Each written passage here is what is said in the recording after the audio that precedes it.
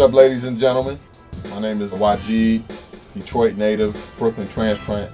Our history kind of starts with being in Detroit, original member of uh, Slum Village.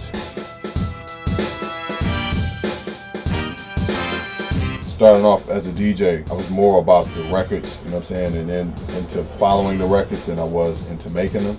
Later on, as you know what I'm saying, like I was a part of Slum, then kind of left Slum to go to college. My good dear friend, rest in peace, my man J Dilla, was like doing his thing. Just kind of like being around him and you know what I'm saying, us talking about music and just music theory and like, you know what I'm saying, like everything about music made me kind of rethink about my position in, regards to music, you know what I'm saying, to not just be the DJ, but be the guy that makes those records too that year, I locked myself in my apartment. You know what I'm saying? With all the records that I own, all my records, and this this baby, this baby right here. And uh, you know what I'm saying? It was it was on. As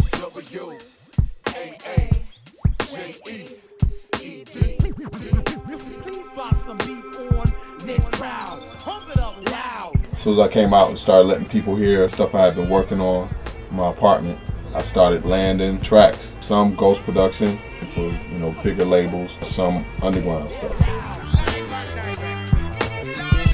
Since producing from other for other people, you know what I'm saying, I've since started my own group, Platinum Pied Pipers, PPP, short, my own independent label, Bling 47.